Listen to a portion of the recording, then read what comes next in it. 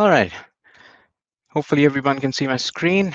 Um, hello, everyone. Welcome to episode three, Migrate and Optimize SAP S4HANA on AWS. And we really appreciate everyone taking the time out from the busy schedules to attend today's uh, session.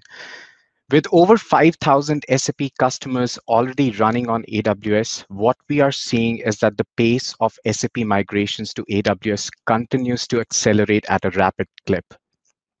In fact, we saw more than a 20% year-on-year increase in ERP migrations in 2020.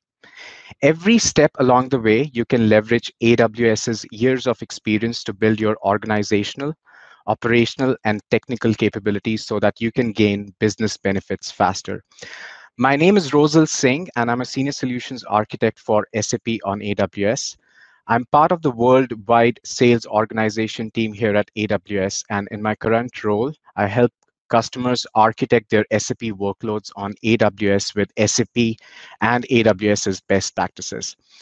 I come with more than 15 years of SAP Basis consulting experience with expertise on SAP installations, upgrades, and migrations, both on premises as well as cloud. Today, I'm also joined by my colleagues uh, Sunil, Raj, and Bidwan, who will help me out in answering any of your questions in the chat. Now, the only bad question is an unasked one. So keeping that in mind, please feel free to post any questions, any queries that you might have. And if you're not able to address your questions now, we will definitely follow up with you later. Now, all good things start with an agenda, so let's take a look at it. In this episode, we will cover prerequisites for this particular episode three, which is migrate and optimize your SAP S4HANA system on AWS. For some reason, if you were not able to attend the previous episodes, uh, which were held uh, from um, Monday till Tuesday. Yesterday was another session, episode two, all about architecting and deploying your S4 HANA on AWS. Episode one was all about creating that secure landscape. If for some reason you were not able to attend those episodes, uh, that should still be okay. However, I highly recommend going through those uh, sessions or the episodes once the on demand recordings are available to you. Next, uh, we will take a look at AWS accelerators for SAP migration, uh, homogeneous and heterogeneous migrations, operations and management for SAP workloads. Uh, we'll talk a bit more on um, DevOps for SAP in this particular section. And then we will wrap up with some of the AWS differentiators when it comes to running your SAP workloads on AWS. All right, let's uh, begin with the prerequisites. As I mentioned before, episode one was all about creating a secure foundation for SAP S4HANA on AWS. And episode two was all about architecting and deploying your SAP S4HANA on AWS. And by now, what, uh, as a logical step, your target AWS systems are ready and you're ready to migrate those systems from on-premises or any other source environment to AWS. All right, uh, just so that you can, you guys can focus on the slide deck, I'm going to turn my camera off uh, so that we get more real estate as far as uh, the screen is concerned, and uh, so that you're able to see the slide deck better. All right, before we start with any migration to AWS, there are a few key questions that you need to ask prior to your migration. The first question is, are the planned software and the OS versions compatible with AWS? Now, I've highlighted this note here, which is SAP Note 1656099.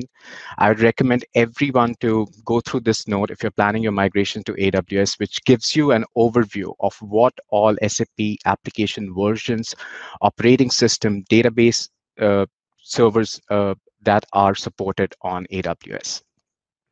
The next question, how large is the database that is being migrated? Are we looking at a small or a medium-sized database? Are we looking at a large database, which could be in terabytes, or a very large database, which could be 25 terabytes or 50 terabytes? Are we looking at that domains? Because that will define your strategy. And it ultimately boils down to what's your business appetite for downtime as well.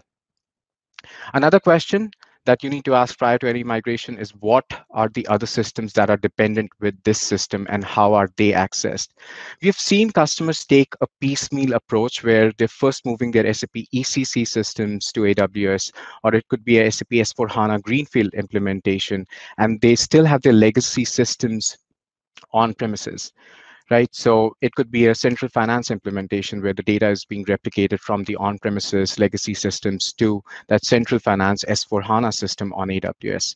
So what are these dependent systems? How do you take care of the network connectivity between these uh, systems?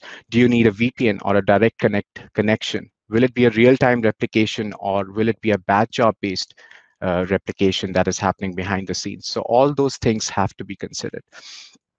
And then what is the usable speed on your network connection to AWS?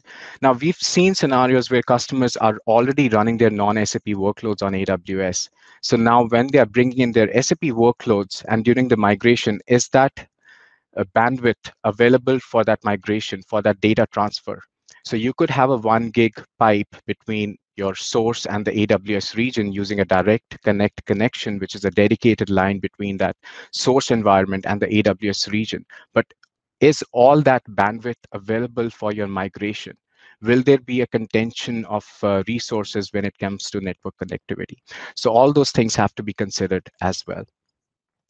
Next, uh, we take a look at homogeneous migration, which basically means lift and shift, rehosting your platform from your source environment, and you're basically finding a new home on the AWS world for your existing SAP workloads. So you're keeping the same operating system, same SAP software versions, and the database software version uh, is also the same uh, on the source and the target. So that in that uh, respect, that becomes a homogeneous migration in the SAP world, right? And then when we talk about heterogeneous migration, is there an operating system platform change? Is there a software version change or database platform change, especially when we talk about S4 HANA conversions? So there is a change in there could be a change in the operating system. So there's definitely a change in the software version because you could be migrating from an sap ecc to s4 hana.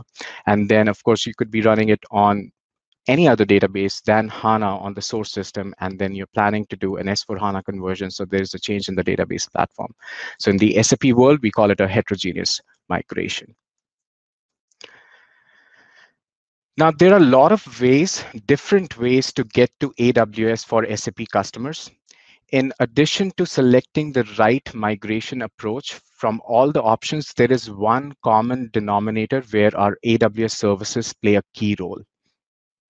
Our provisioning tools, such as AWS Launch Wizard for SAP, or it could be your custom cloud formation templates, uh, which you or your partners have built and that can help you quickly deploy your target infrastructure on AWS.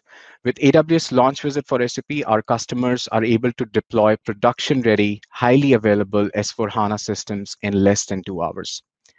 The other differentiator in all of these migration approaches is our services to move data from on-premises to cloud.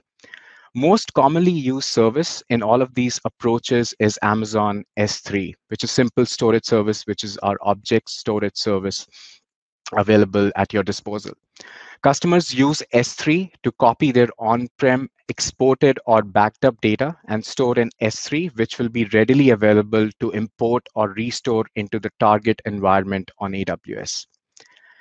Storage Gateway uh, AWS Data Sync and Snowball are some other great services that you can make use of uh, to transfer your data securely and effectively. Now, Cloud Endure, uh, which is now called as Application Migration Service. So that's a new name given to uh, this particular service. Uh, but behind the scenes, it's the same Cloud Endure technology that we've been using.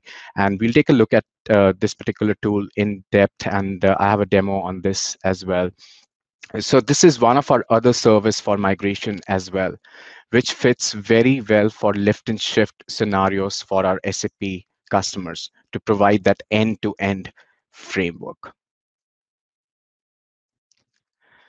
Next, uh, let's do a deep dive on some of the AWS accelerators for SAP migration. So first, we look at Amazon S3.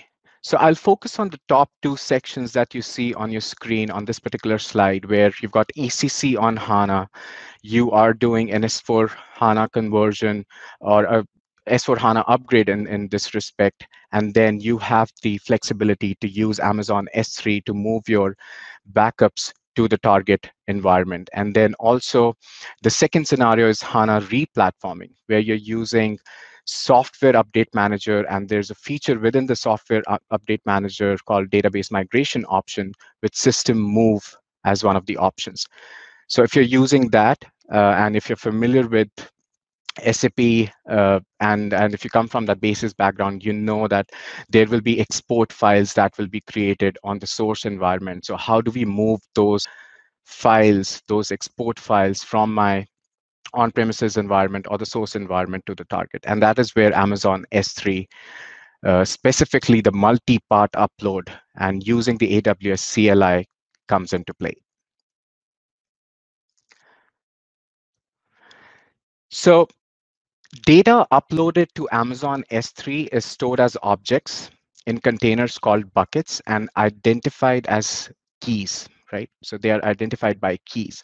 Buckets are associated with an AWS region and each bucket is identified with a globally unique name. The AWS CLI, the command line interface, is an open source, fully supported, unified tool that provides a consistent interface for interacting with all parts of AWS, including Amazon S3. Now, there are two pieces of functionality built into the AWS CLI for Amazon S3 tool that help make large transfers uh, so in this case, we are talking about your export files, or it could be your backup files if you're considering a homogeneous migration. So that helps you make these transfers into Amazon S3 go as quickly as possible. And there are two aspects to it. First, if the files are over a certain size, the AWS CLI automatically breaks the files into smaller parts and uploads them in parallel. Now, this is done to improve performance and to minimize impact due to network errors. Once all the parts are uploaded, Amazon S3 assembles them into a single object. Now, the second important functionality that uh, AWS CLI for Amazon S3 provides is that it automatically uses up to 10 threads to upload files or parts to Amazon S3, which can dramatically speed up the upload. So multi-part uploads allow you to upload a single object as a set of parts. Each part is a contiguous portion of the object's data, and you can upload these objects parts independently and in any order. If transmission of any part fails, you can retransmit that part as well without affecting the other parts. Once all the parts are uploaded to S3, S3 will assemble them and create the object. In general, when your object reaches 100 megabytes, you should consider using multi-part uploads instead of uploading the object in a single operation. So by doing this, you get improved throughput, quick recovery from any network issues, pause and resume your object uploads, and you can begin an upload before you know the final object size, which means you can upload an object as you're creating it. So I've talked about Amazon S3 uh, the multi-part upload using uh, AWS CLI. So let's see it in action, right? So I have a demo here, pre-recorded demo. So let's go through it. So I'm in my AWS console right now. I'm in the North Virginia region, which is my source environment. And I'm running an SAP EHP 8 Enhancement Package 8 system running on an ASE database.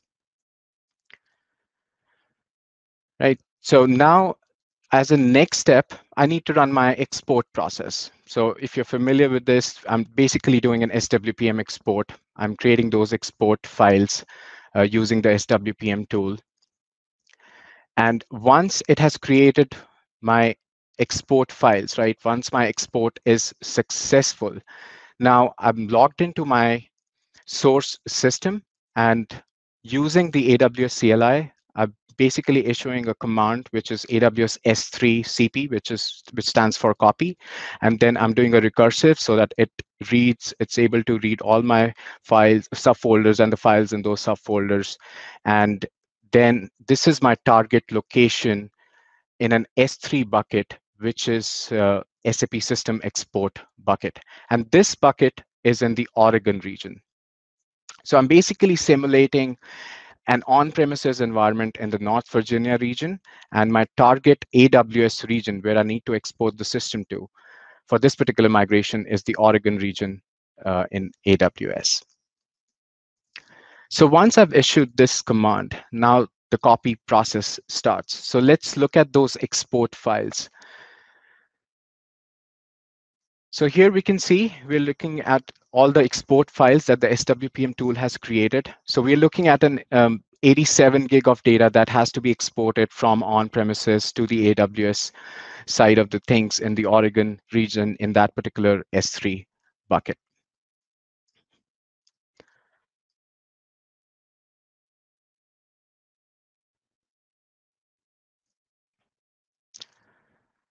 I'm going to move ahead here.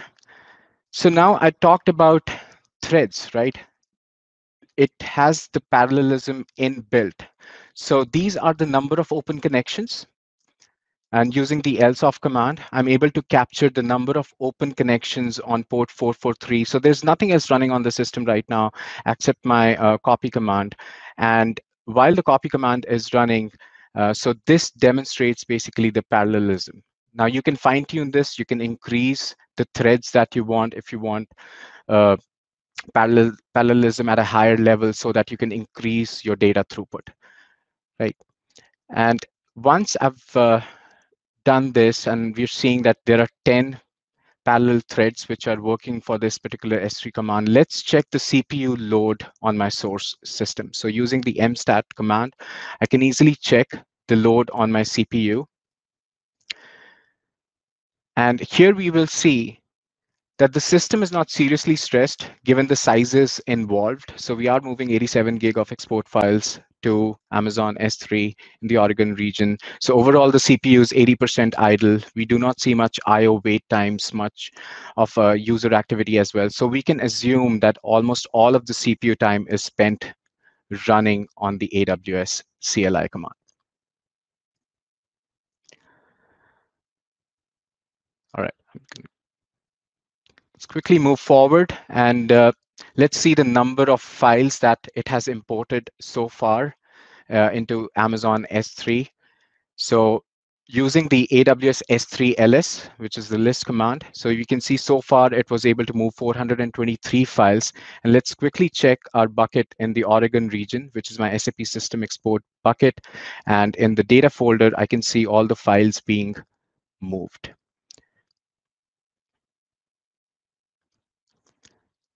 All right, so let's see how much time it takes. Now you see that the, my copy command has uh, been executed and it took 10 minutes and 31 seconds. So this is the real or the wall clock time. And uh, it took 10 minutes and 31 seconds to move my export files from North Virginia to Oregon uh, using the multi-part upload, which is built in automatically, right?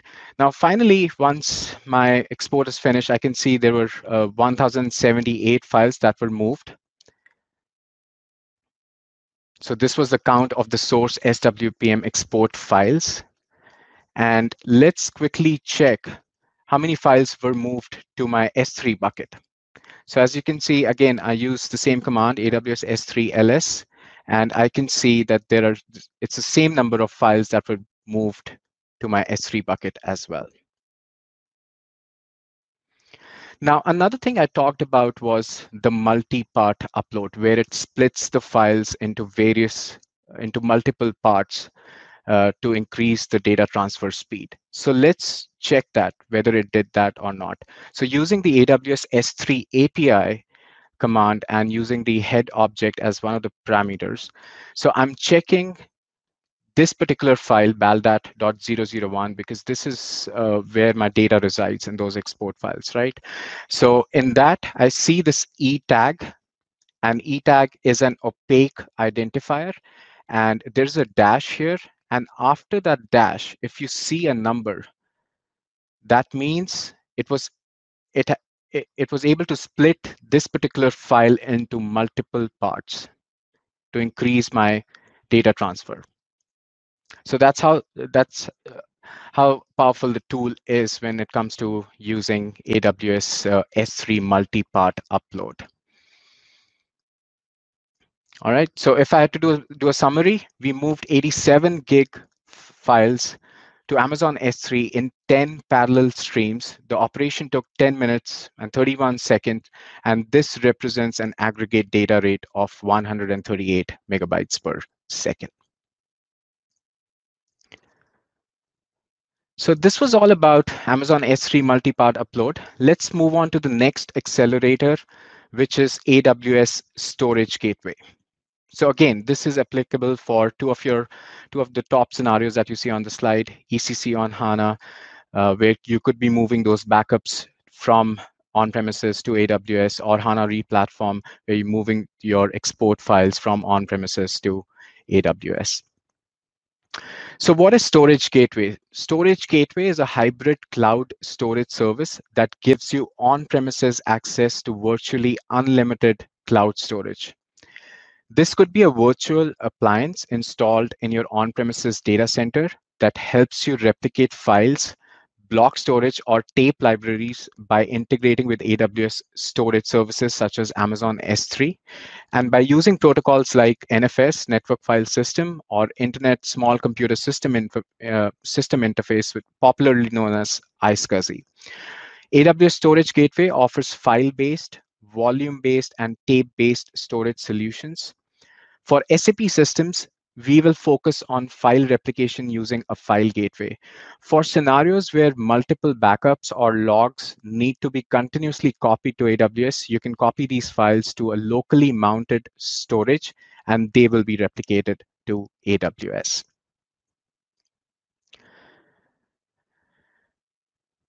All right, so I have a demo on this one as well. So let's quickly go through the demo. Again, my architecture is the same. I have a source HANA database, uh, which is running in the North Virginia region. I'm simulating an on-premises environment.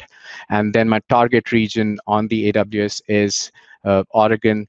So architecture is the same, just that my source database is now HANA database. And what we will do is we will present this S3 bucket as an NFS mount point on my source database uh, using AWS Storage Gateway, File Gateway. All right, so let's move ahead with the demo. So I'm logged on to my AWS console. I go to AWS Storage Gateway and I select File Gateway, uh, click on Next.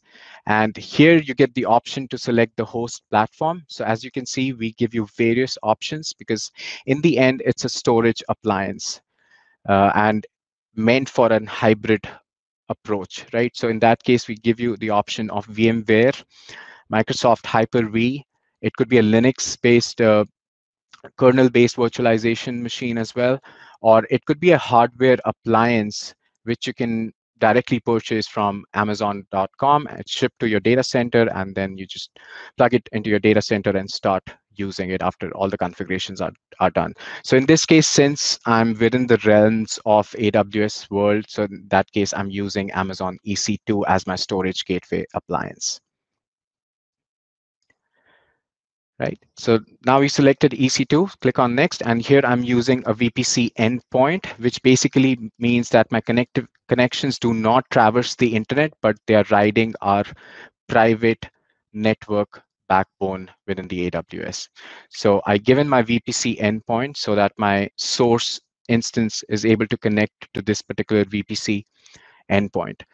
And then I'll give in the IP address of the storage gateway, which I've uh, created. So as I can see, I'm using an R5N 12x large instance for my storage gateway. I type in the IP address and click on connect to gateway.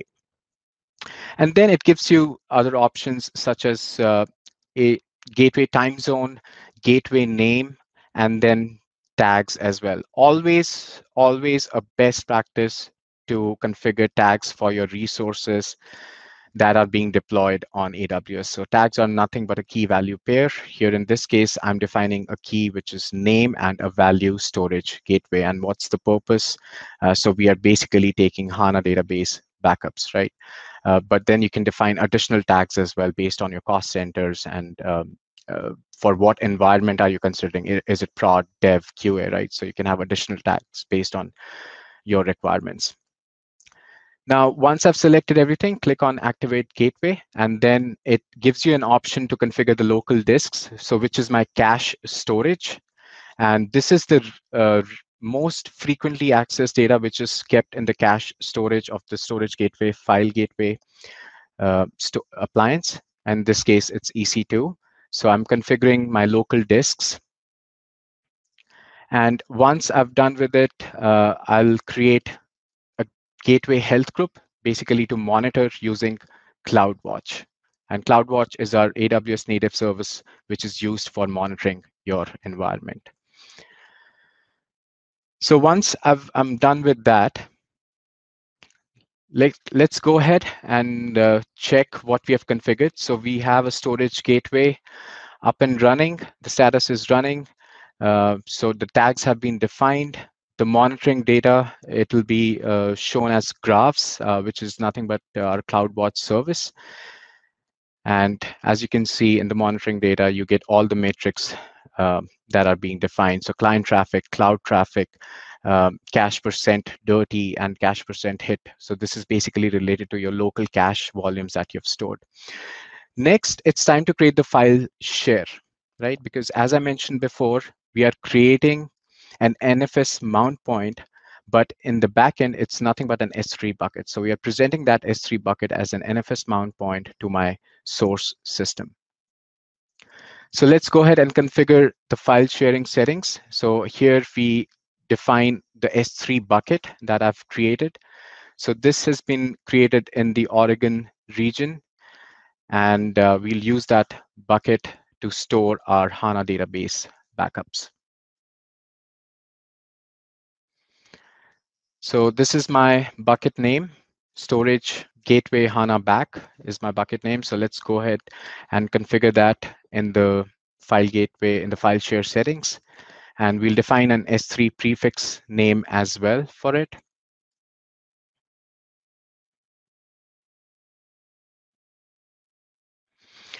All right, so once I've defined that, we'll be using NFS. And uh, then, again, a best practice to always use tags.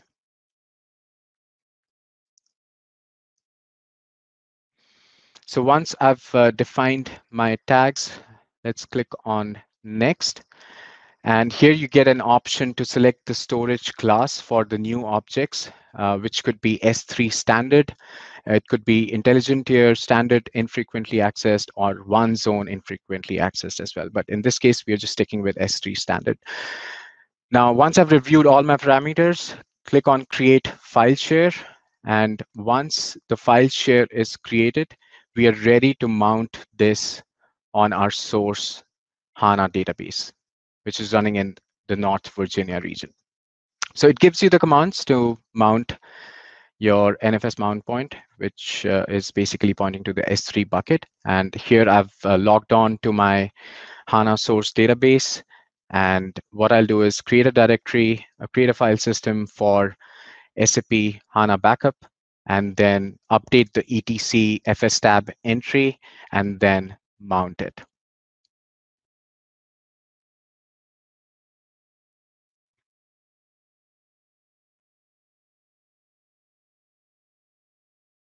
All right, so once I've uh, updated that, the etc fs tab entry, now it's it's time to mount.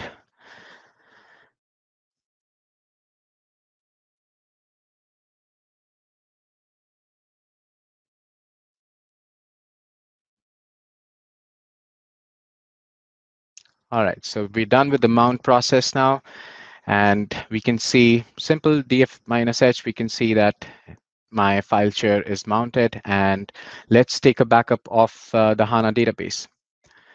So once you trigger that backup, you should see you should be able to see that your backups are uh, are basically getting populated in my file system, and then they should also be replicated to S3 asynchronously behind the scenes.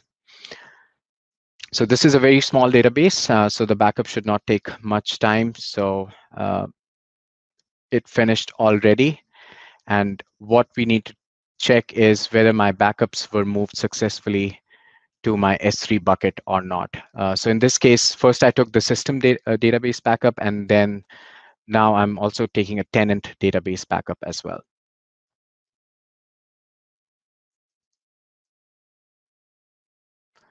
All right, that should not take much time because it's a very small database. All right, once that is done, now let's check our file system, whether those backup files uh, are there for the system as well as the tenant database.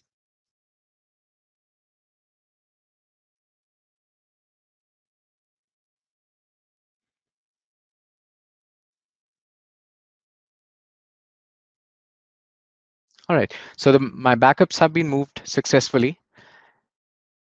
At least that's that's what I see in the file system, right? But whether they've moved to S3 or not, let's check that as well. So I'm in my S3 bucket, which is in the Oregon region, and I've got my SAP HANA backup, uh, and then let's see if those backups have been moved or not. So let's do a quick refresh and you should be able to see the backup. So there you go. So we were successfully able to move uh, the backups from my source environment, which is in the North Virginia region, to an S3 bucket in Oregon, which was presented as an NFS mount point using storage gateway file gateway. So here's my tenant database backups as well. And that's how you can move those backups uh, from your on-premises environment, especially when we're talking about homogeneous migrations. So these could be your HANA database backups or Oracle database backups or any other database that SAP supports, right? So you can take this approach as well. Another use case of Storage Gateway File Gateway is, uh, as I mentioned before, it's a hybrid cloud storage service. Uh, so you can take those older backups and archive them on S3 and then also use S3 infrequently accessed storage tier to save on costs there as well. That's another use case of storage gateway. All right, so next uh, we'll take a look at uh, another accelerator that we have, which is AWS Data Sync. Now, you can use AWS Data Sync to migrate SAP data to Amazon S3 Amazon EFS, which is Elastic File System, which is a shared storage service that we have highly available. It's a regional service with four nines of availability when it comes to SLAs. And also you can use AWS Data Sync to migrate that SAP data to Amazon FSx for Windows file server as well. So you can configure data sync to make an initial copy of your entire data set and schedule subsequent incremental transfers of changing data until the final cutover from on-premises to AWS. Data sync includes encryption and integrity validation to help make sure your data arrives securely, intact, and it's ready to use. To minimize impact on uh, workloads uh, that rely on your network connection, you can schedule your migration to run during off hours or limit the amount of network bandwidth that DataSync uses by configuring the built-in bandwidth throttling. So that's another neat feature of AWS uh, DataSync where you can configure that bandwidth throttling as well. DataSync preserves metadata between storage systems that have similar metadata structures enabling a smooth transition of uh, end users and applications to using your uh, uh, using your target AWS storage service. So you can use AWS Data Sync to copy NFS file systems, uh, specifically if you're using it for, let's say, USR SAP Trans, or if you're using it for your interfaces directory, right, which is a common scenario that uh, you'll find in the SAP world where your ECC or your S4 HANA system is tightly integrated with uh, various third-party interfaces. So that is where AWS Data Sync can come in handy to copy that data from the NFS file systems uh, from the old to the new SAP accounts and mount it on respective instances as well. All right, so I have a demo on data sync as well. Uh, so let's quickly go through that. Uh, I'm using the same source system as you saw in the Amazon S3 multi-part upload. And there I have, uh, I had an SAP EHP8 enhancement packet H8 uh, system running on ASE database in my North Virginia region. And uh, what I've also done is I've created an EFS file share and I've mounted this on my EC2 instance. So the EFS file share is SWPM export. Uh, if you're looking to do an SWPM export, uh, something I don't recommend using NFS. Uh, always stick with local volumes. Uh, but if you are in a situation where you are using NFS uh, file system to export that data, then you do have the option to use AWS Data Sync. So in that case, uh, EFS file system is my shared storage system. Uh, this is a shared storage service, which is mounted on my source EC2 instance. And what I will do next is basically ensure that my EFS is mounted correctly on my EC2 instance. So as we can see, my mount is there. And now the next step will be to run that SWPM export process. Of course, if you're using uh, DMO of SUM, uh, that will also create your export file so you can use AWS Data Sync in that scenario as well. All right, as a next step, let's go to the data sync service. And what I've done is I've basically created tasks uh, so task is nothing but defining your source and the target location. Uh, so since, again, I'm, I'm in the AWS world, uh, I do not need an AWS data sync agent.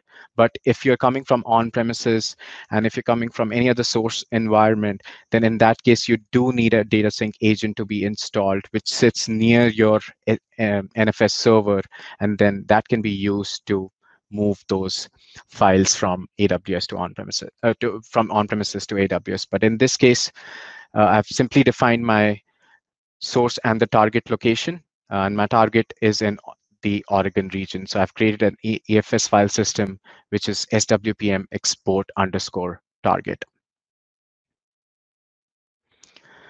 All right, once we have defined uh, the EFS file share and we've defined the uh, data sync configuration as well. Now the next step will be to run my SWPM export. And here I'm running the export on my source system. So I define my EFS file share and then let's continue and you'll see the export process running and you can use migration monitor to monitor the progress. Uh, so here we've already seen that task has been executed in AWS Data Sync, and you can see already it moved 84 files um, uh, with a data transfer speed of 212 uh, megabytes per second, and the data throughput that you're getting is around 5 megabytes per second. So while my export process is running, my data sync tasks are also running in the backend, which are moving my export files from the source to the target. So the first task was executed successfully, and then I've scheduled basically four tasks, uh, which will keep running in the background at every 15th minute of the hour.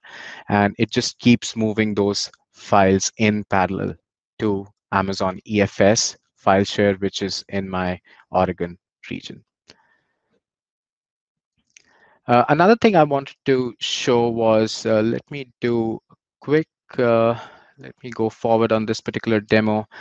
Uh, and what I wanted to show was it also does, uh, so once it's launching, it comes into that running status, and then it also verifies. So it checks the data integrity and if there is any changes on the source it does it is intelligent to pick that up and then ensure that all the files for all the files the data integrity is kept and your data is intact so all these are my export files which are being moved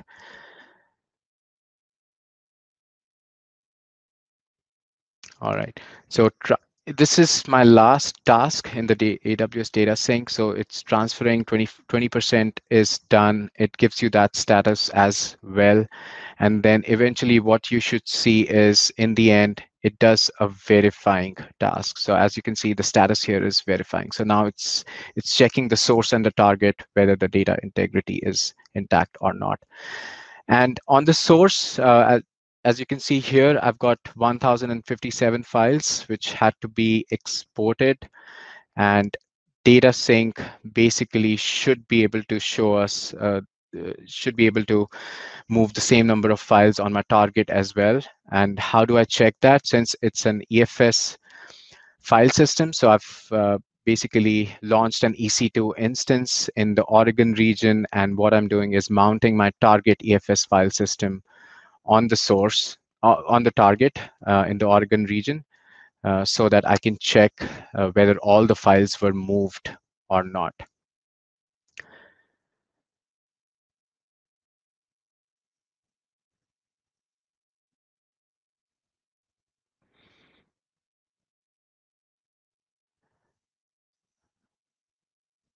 All right. So as you can see, 1057 files were moved uh, by data sync to my target EFS location, and my source was also the same.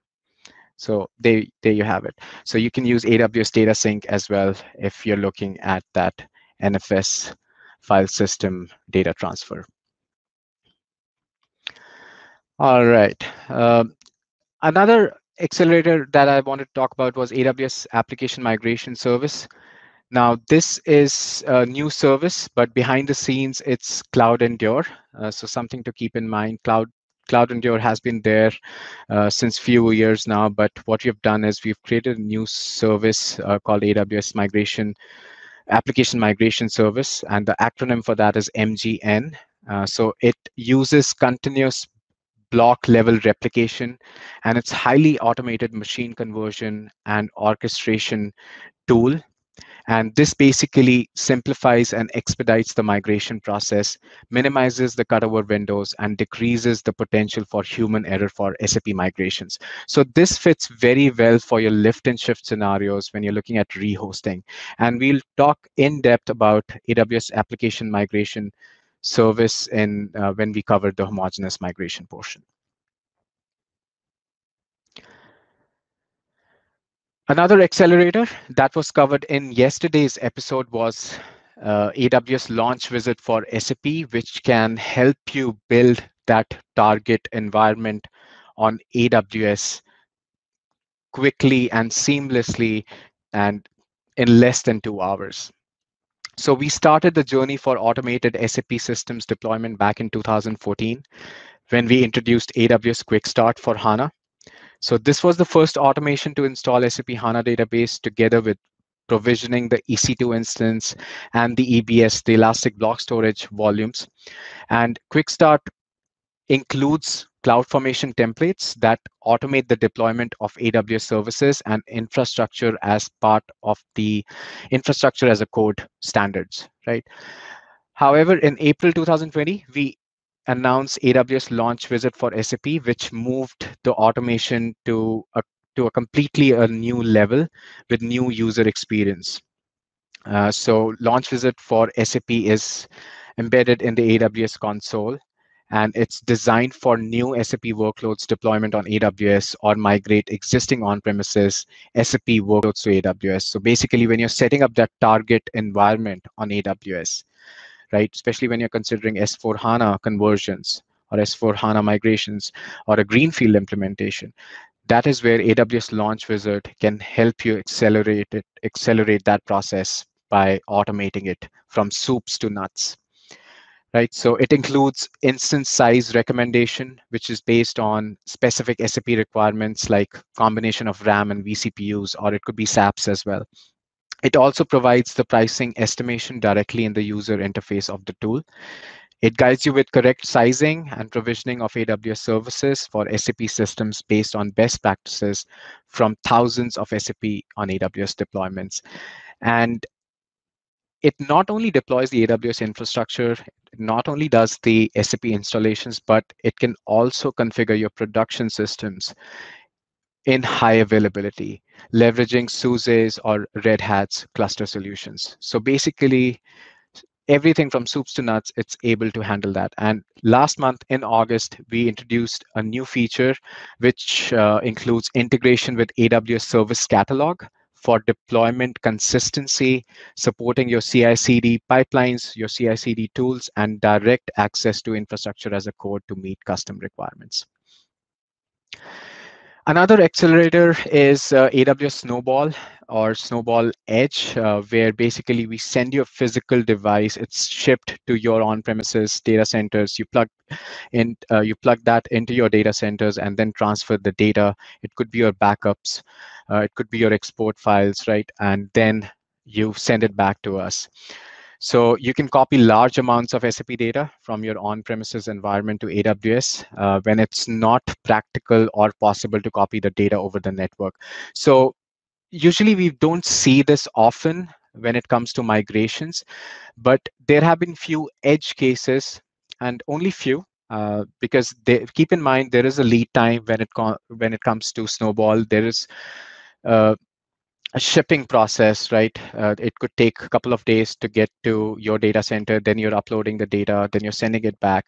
So that data could become stale, but you there are workarounds. So you could store restore your systems using that particular backup, and then you just keep implementing your incremental or your log backups, right? So that's one workaround uh, around this. Uh, this strategy. So something to keep in mind when it comes to Snowball. Um, and there have been few cases where customers were moving around 60 terabytes of their um, SAP databases because it, it's basically a, a data mart solution that they were migrating to AWS. So in that respect, in that scenario, the downtime wasn't that important for them so they leverage snowball in that scenario so few edge cases where we have seen this uh, being used but for most of them i would highly recommend it. I would i would highly recommend going with the amazon s3 uh, multi-part approach which uh, most often meets the user's requirement and then start looking at other tools like storage gateway or data sync. All right now that we've talked about homogen uh, about all the accelerators uh, that we have. Uh, so we talked about Amazon S3 multi-part upload, AWS Data Sync, uh, Snowball, Storage Gateway, uh, Launch Wizard for SAP to build your target environment. Let's talk about homogeneous migrations. So first, we will talk about backup and restore. So with homogeneous migrations, uh, you provision your SAP database and landscape on AWS manually, or it could be using Launch Wizard for SAP, or it could be using your custom CloudFormation templates. So if you're using Launch Wizard for SAP, that means uh, you're already on HANA database, and Launch Wizard can help you expedite and automate that process of building that target environment on AWS. Now, as a next step, you're ready to transfer those backups either using um, uh, AWS uh, S3 CLI, it could be storage gateway, and then uh, it could be any other open source tools as well, like uh, rsync, or it could be SFTP and uh, making sure uh, that you transfer any necessary logs for point in time recovery as well. So that has to be kept in mind uh, when you're doing a full backup and restore, or it could be a full backup that you're restoring after completely shutting your systems down during the migration. And then as a next step, you recover your SAP database, install your SAP application servers, and depending on your application architecture, uh, you might need to reconnect your applications to the newly migrated SAP database, right? So that is where all the uh, additional activities come into play when we talk about uh, migration, where it could be uh, DNS uh, related activities, Active Directory related activities, or it could be uh, even your interfaces that you need to account for.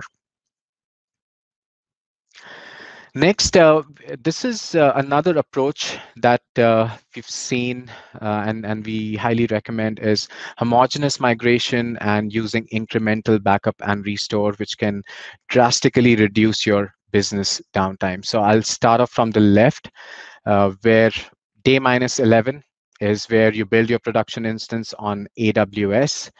Um, now, this could be again using Launch Wizard for SAP, or you're building it manually, or you have your custom CloudFormation templates, or it could be templates built on Terraform as well, or uh, any other infrastructure as a code tool. And then day minus five is where you restore your full backup and you're transferring that backup either using AWS S3 CLI and then you're using, uh, it could be using storage gateway and then day minus four is where you start implementing those delta backups, right? And day minus one is again when you're restoring that uh, last but one delta backup. And on day zero, on the day of cutover, is where you are restoring that last delta backup or your log backups. So with this strategy, you can drastically reduce your business downtime, especially if you're considering very large databases, right? Next, uh, we talk about homogeneous migration using HANA system replication.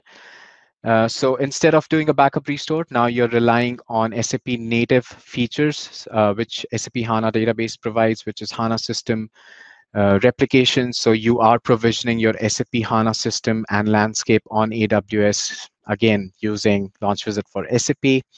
Uh, it could be your custom CloudFormation scripts as well.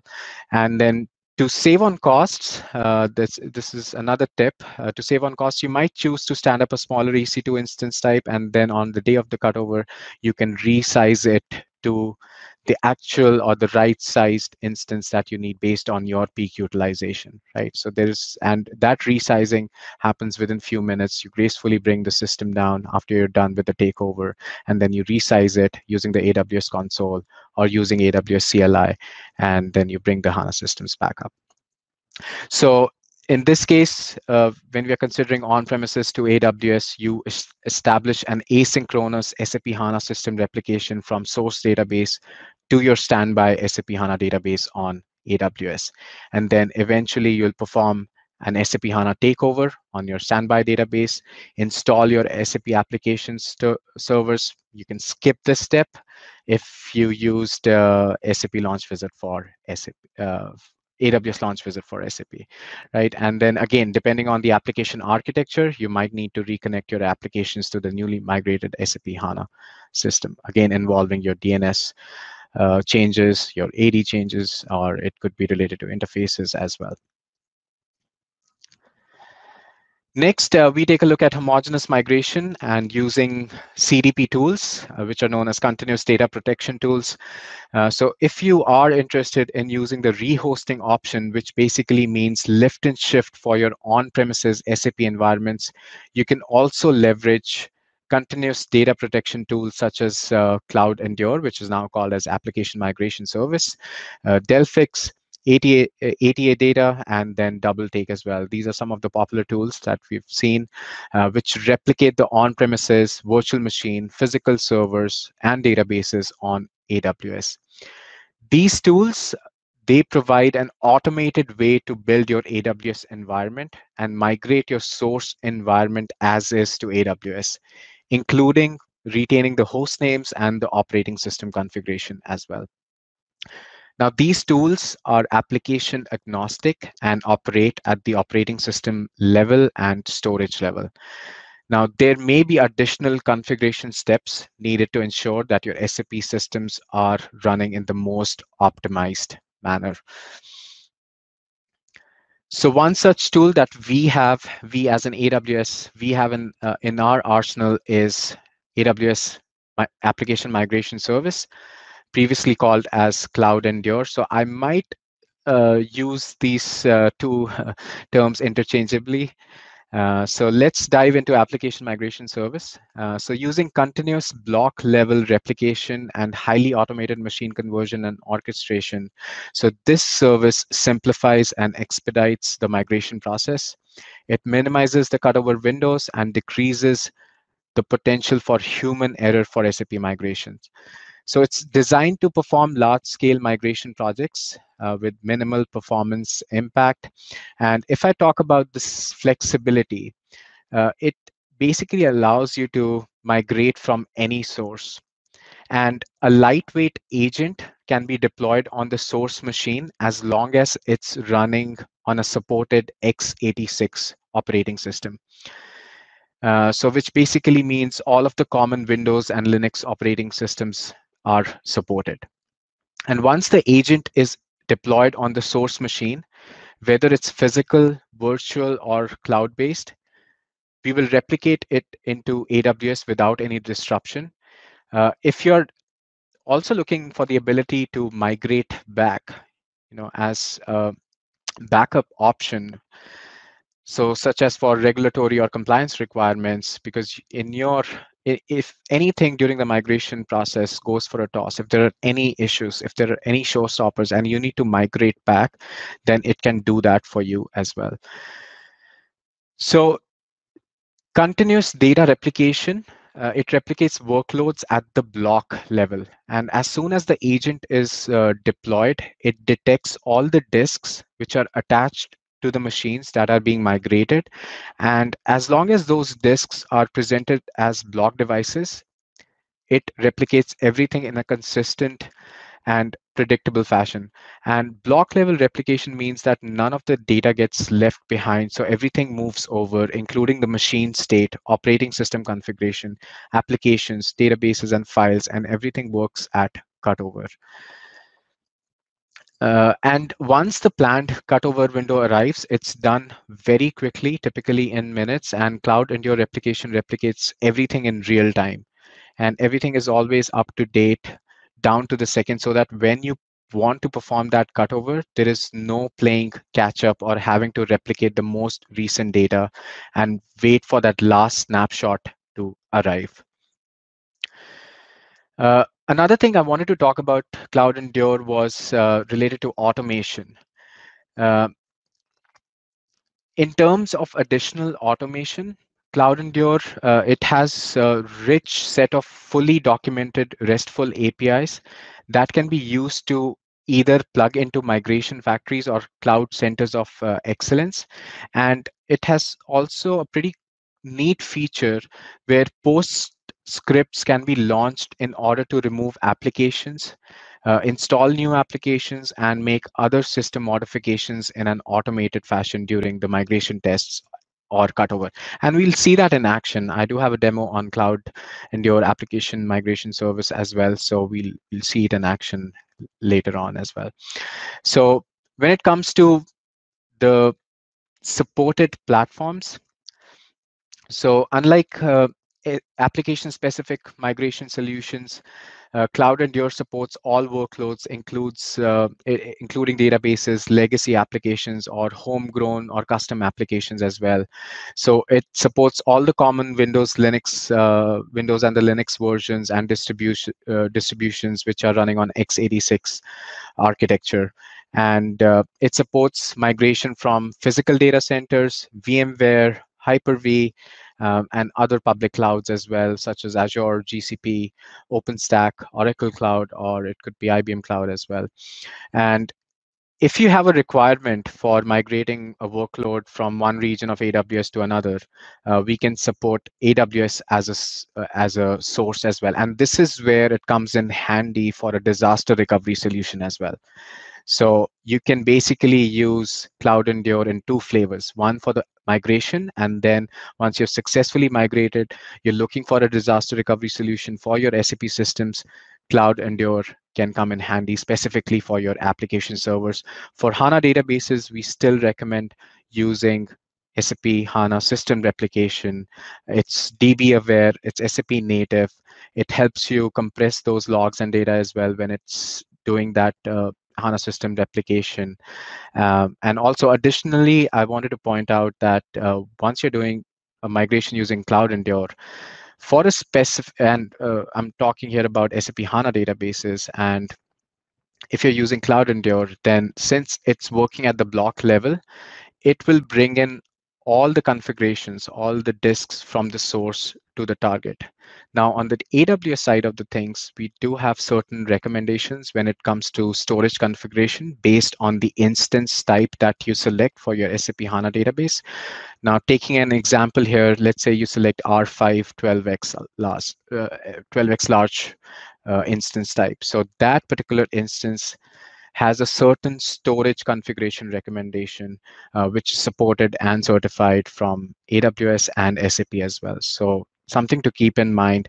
If you're using Cloud Endure for your HANA databases, then there might be some additional activities where you have to reconfigure your disks. So I highly recommend if you're considering homogeneous migrations, stick with HANA system replication for your data, HANA database. And then for your app servers, you can take that approach of Cloud Endure, bring in into the AWS world using Cloud Endure seamlessly, and then you do your upgrades on top of it because that is where the flexibility of AWS comes into play as well, where you can resize your instance, uh, your app servers, and run that upgrade process, right, with more horsepower.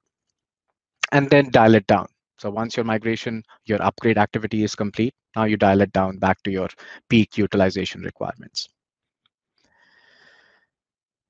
All right, so this is the architecture. Uh, this is a very high level architecture that illustrates how Cloud Endure migration can deliver rapid, reliable, uh, self-service migrations with minimal business uh, disruption. On the left is the source environment, which can be composed of different types of SAP components, such as SAP databases, application servers, or it could be some of the tertiary or the ancillary systems that support the SAP ecosystem. Uh, so the agent is deployed on the source machine uh, without requiring any kind of reboot and without impacting performance in any noticeable way. So that initiates the continuous data replication of that data into AWS. And Cloud Endure provisions a very low cost staging area that helps reduce the cost of cloud infrastructure during replication. So it deploys those replication servers that you see here. So these are lightweight Linux EC2 instances. Now, when it comes to security, and security is, is job zero here at AWS, so it provides a secure mechanism for data replication. Cloud Endure, it replicates data using AES 256-bit encryption in transit. In addition, customers can use their own private connectivity, such as VPN or direct connect tunnels to replicate the data privately on top of the encryption as well. And Cloud Endure can leverage EBS encryption on the target side for encryption at rest. So when the data is replicated and lands on AWS, it can land on an encrypted disks uh, that can be using a customer's own custom, uh, custom encryption keys. All right, so now uh, let's take a look at uh, a demo. Again, uh, we have a new service, as I've uh, mentioned before. Now it's called Application Migration Service and uh, it's all based on Cloud Endure technology. So the demo that you see is uh, on actually using the Cloud Endure console with the new service. Uh, that service is uh, operated and it's within the AWS management console. That's one of the difference that you will see using the new service. However, uh, since this demo was recorded before we launched the service recently, so uh, I'm showing you a demo with Cloud Endure console. However, the concept, the logic, the technology remains the same. So in this scenario, I'm creating an uh, Cloud Endure uh, account. And then as a next step, what I need to do is uh, create a project. So this is my SAP migration project. And then let's go ahead and name it as test. And this is a migration project. And once I'm, I've set up the project. And now next is to provide the AWS credentials. And then I'll select the migration source, which is my other infrastructure, and the target region on AWS, which is the Oregon region. And here's uh, where I'm defining my replication settings, uh, whether I'm using uh, SSD-based uh, disks, what are the subnets, uh, and what is the security group uh, within that for that particular um, replication server. And then you have the option to use VPN or direct connect, and then you can you do network bandwidth throttling as well. So once I'm done with the replication settings, now the next step will be to download the software that is needed for Cloud Endure. So here it gives you all the instructions, the commands to download the Cloud Endure agent installer for Linux. And then later on, we'll see how you can run the installation process. So my installer has been downloaded. And as a next step, what I will do is I will run the installation process. Again, the commands are provided, so you can just simply copy paste. And one thing here to notice is that I'm running this command with no prompt option. So that means Cloud Endure agent will basically identify all the disks that are attached to that EC2 instance, and then it will start replicating all those disks. So if you run it without this no prompt option, you do get an option to select the disks as well. All right, so once my Cloud Endure agent has been installed,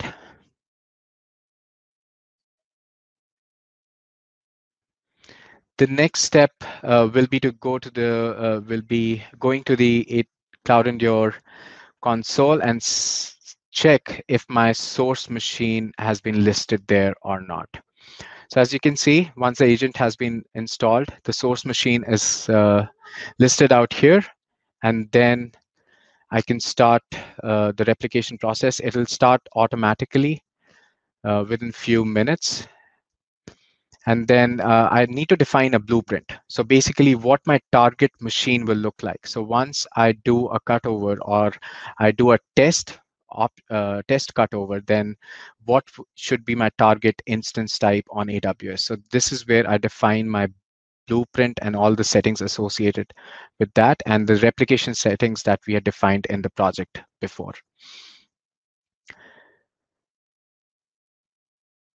All right. So once we have defined the blueprint, uh, it uh, will start doing the replication. And here you can see it has started doing the replication. And my replication is complete. And this is where I talked about the automation uh, within Cloud Endure or the application migration service where you get the option to launch post-launch scripts. So in this case, what I'm doing is I'm defining a new backup volume. I'm also updating my DNS uh, entries, Route 53 entries, and I'm also changing the IP address. So this is all part of my post-launch script. So I don't have to do it manually. The moment it launches the instance, it'll pick up that launch script and execute it automatically, right? So that is a pretty neat feature with Cloud Endure or application migration service.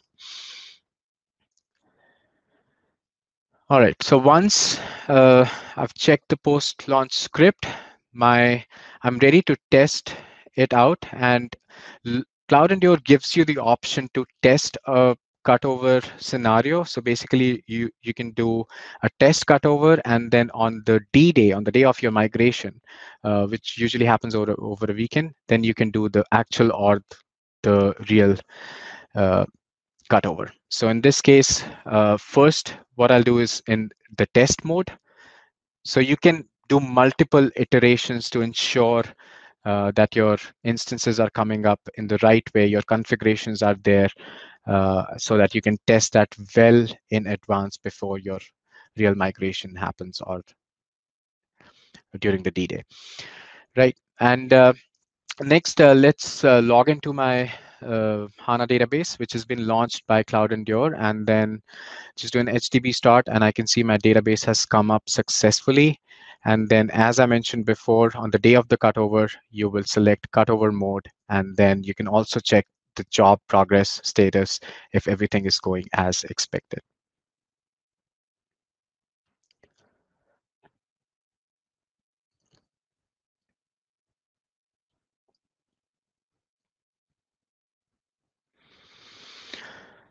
All right, so my HANA database has come up successfully and everything looks good here. So this is the power of our uh, Cloud Endure or the application migration service, which you can use to migrate your SAP systems, uh, specifically if you're looking for homogeneous migration, lift and shift, basically. Uh, next, we'll take a look at heterogeneous migration.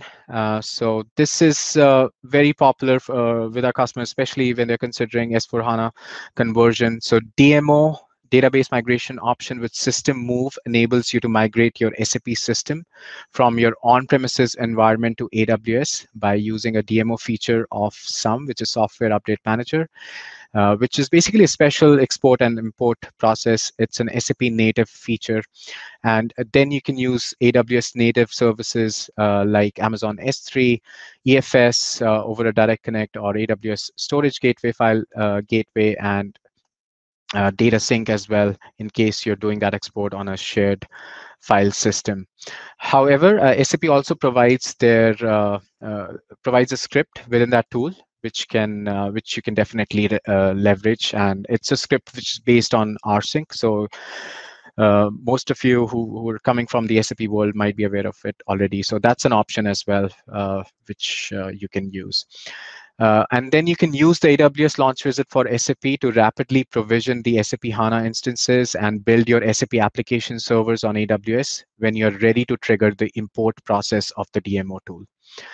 The SUM DMO tool can convert data from any database to SAP HANA or ASE uh, with OS migrations, release enhancement pack uh, upgrades as well, and it can do Unicode conversions occurring at the same time.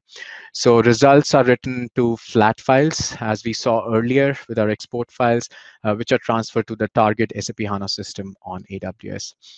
And the second phase of DMO uh, with System Move imports the flat files and builds the migrated SAP application with the extracted data, code, and configuration. All right. Uh, now we've talked about uh, DMO of SUM. Uh, there are partner solutions as well, which are available. One such solution is T-Bone or Transformation Backbone, which is provided by our partner SNP, which is a German-based uh, company. And uh, one example that I do want to highlight is uh, one of our customers, which moved and which basically did an conversion to uh, AWS, migration to AWS, and to overcome their upgrade and migration challenges, they engaged uh, SNP to assist with the SAP upgrade at the application layer uh, now this works on the change recording, which is done, uh, which is activated in the source system. And then they have crawlers and extractors, and they've connected the sender and the receiver system using, uh, it could be RFC or direct data transfer um, using SFTP as well. And then the target system is built, data transfer, uh, data is transferred from source to target while the source is running. So you're able to achieve that near zero downtime. And in the customer example that I was referring to, so the ERP system was migrated with SNP T-Bone solution, enabling a near zero downtime approach. And uh, using the automated on-premises solution, the migration of uh, SAP ECC 5.0 on, a, on the AWS cloud was executed simultaneously with the other SAP components in one project that included EHP upgrades, the Unicode conversion as well, replatforming to Linux with the latest version of the Oracle database, and the data migration to AWS cloud. And the go live for this migration took place during the weekend of uh, March uh, 2016, somewhere in that time frame, uh, with a technical downtime of less than four hours. So this was an SAP ECC 5.0 to SAP ECC 6 scenario on Oracle database, but they also support S4 HANA conversions as well, where you plan to uh, have near zero downtime and downtime is of utmost importance and you're looking at maybe a very complex migration scenario uh, where you're running on let's say legacy ECC versions and you're looking for that Unicode conversion as well in case you're running on non-Unicode systems. So this is where these partner solutions can come in very handy. Next option that we have for our customers is, uh, of course, SAP's NZDT solution. So this is a service provided by SAP MDS team, which is a minimized downtime service team. And the SUM steps are handled in uptime on a cloned NZDT to reduce the overall business downtime. By reducing the technical downtime by using a dedicated hardware for the clone systems. Uh, it triggers uh, installation of the source. Uh, DMIS uh, add-ons uh, are ins installed. Uh, so if you're familiar with it, these are basically the SLT add-ons that you see. Right, so those are the similar add-ons that SAP uses, and then the delta replay of data processing is done as well on the target size. So this is how the architecture looks like. And this is uh, one of the customer example where a customer migrated their 25 terabyte uh, Oracle database to S4 HANA. And as you can see on the left-hand side, they had their source uh, ERP EHP 8, Oracle 12.1, and then a clone was set up, uh, which was basically the cl clone of the source systems. And then they had migration work bench as well. And then app server for DMO was run at the source. Uh, network connectivity between the data center and AWS using dedicated line using AWS Direct and Connect. Uh, this was an MCOD deployment, multiple components, one database, and then after the data replay is done, uh, basically the proxy schema would be deleted. Uh, so this is where you see the source, and then app server for DMO was run on the target. So this is all on the AWS side of the things. And one thing uh, that I would like to point out and recommend is when it comes to running your import processes or you're in this particular scenario. So for the app servers, always consider using a higher sized instance so that you can get more CPU resources because all these processes are CPU intensive. So that is where you use flexibility of AWS. Go to a higher sized instance. So if you're considering, let's say, R5 2x large for your application servers, I would highly recommend considering a higher sized instance during this migration or the upgrade uh, process during the import process so that you can significantly reduce the time that it takes to import those files, right? So these are the partner solutions. So heterogeneous was all about SUM DMO um, uh, that SAP provides, and then the partner solutions uh, provided by SNP, and then SAP NZDT solution. So this was all about migrations. Uh, we covered uh, homogeneous and heterogeneous migrations. And I do want to cover uh, operations and management for SAP workloads for the next uh, five minutes or so before we wrap up. Uh, so it's it all starts with uh, infrastructure provisioning using the tools that you see on the left. Uh, it could be CloudFormation templates. AWS Launch Wizard for SAP is built on CloudFormation. Uh, it could be Terraform as well, and few others which are listed down here. All these are great tools around infrastructure as a code. Second layer is using Ansible, Chef, Puppet, or it could be AWS Systems Manager uh, using which you can deploy SAP application components, which include ASCS, ERS, your app servers, and databases as well. And then we focus on monitoring tools, which could provide a single pane of glass and with uh, tools like Amazon CloudWatch, uh, which is a native service used for monitoring your uh, resources running in AWS, and then could be other tools as well, such as Datadog, Splunk, New Relic, and so on. And then you've got operations and compliance management uh, using AWS CloudTrail, AWS Config, or AWS Systems Manager as well. So AWS Config was covered in episode one. So again, I highly recommend to go through episode one if you want to do a deep dive on AWS Config as to how you can use it for your SAP workloads. And then we've got automated administration. Uh, so these are all the areas uh, where we focused on, especially on uh, automation coming to SAP workloads, which have resulted in up to 60% improvement in uh, operating costs. Now, this could be related to AWS config for auditing SAP systems and OS config to basically monitor if there is any drift with your configuration so that you can get notified and then you can take those remediations immediately. Then AWS Backint for SAP. And this was something that was covered in yesterday's session. And this is our backup solution, which is integrated with Amazon S3, where you're able to take those SAP HANA backups directly to S3. So no need to provision a local EBS volumes. So that is where you can save on costs. Uh, then our AWS CloudWatch for monitoring SAP. And this is where our native services comes into play, and they can also integrate with uh, SAP transaction codes uh, such as ST06, ST03. It can even monitor your SAP HANA databases. Uh, and typically behind the scenes, what we are using is JCO connectivity, Java connectivity to have these solutions enabled and those dashboards visible to you on Amazon CloudWatch. We've also built a solution around simple scheduler for SAP jobs, leveraging uh, AWS uh, native services, and then automated HANA DB patching, auto start, start uh, stop of SAP systems uh, using chatbots and then auto scaling for SAP, serverless system refreshes, uh, and then in the end, systems manager for automated maintenance uh, like patching. So I do want to talk about a couple of solutions that we have uh, that uh, you can look into and see if they're a viable fit for you as a partner or as a customer. So this is uh, basically around start-stop automation. And as you can see from this architecture diagram, uh, we are using all the AWS native services.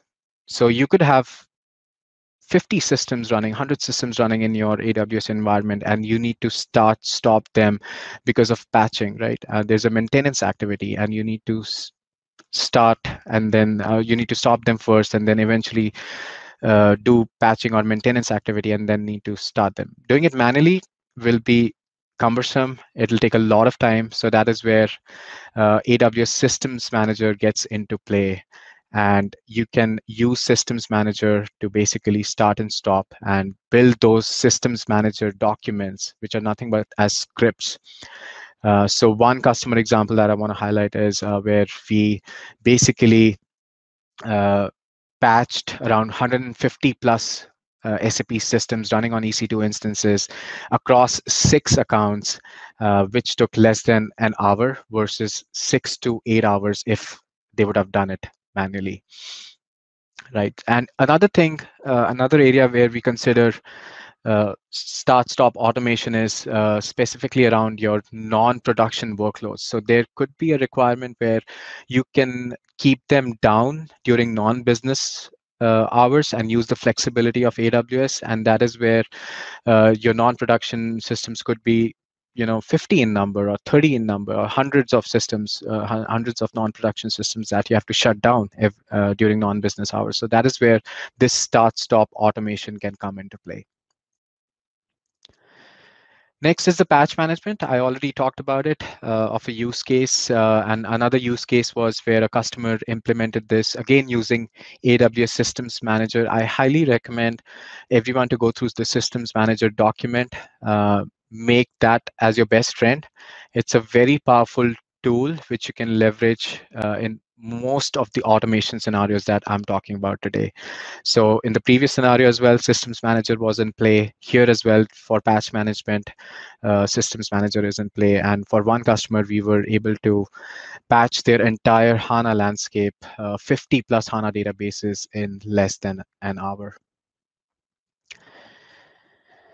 Next is the AWS uh, serverless refresh. Uh, so with serverless refresh, automation customers uh, reduced refresh time from two to three weeks to less than one day with a downtime of uh, fewer than 30 minutes and here as well you see all the data uh, all the aws native services uh, which are being used aws step functions lambdas parameter store uh, amazon dynamodb to store the state of those functions which are being executed using step functions amazon SNS, simple notification service to get those notified whether your refresh was successful or not, or at what stage are you at.